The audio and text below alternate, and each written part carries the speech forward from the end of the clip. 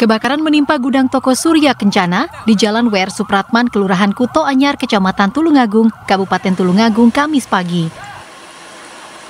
Api diketahui pertama kali oleh seorang karyawan yang hendak masuk ke dalam gudang. Banyaknya material yang mudah terbakar membuat api dengan cepat membesar dan membakar gudang yang berisi tumpukan kain.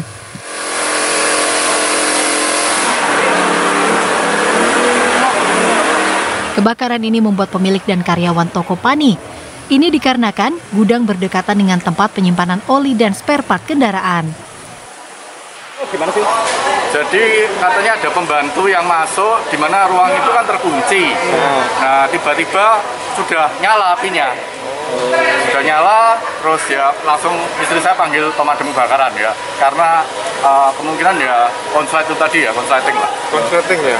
ya. berapa tadi tuh? Jam 8.40. 8.40 ya? Ya.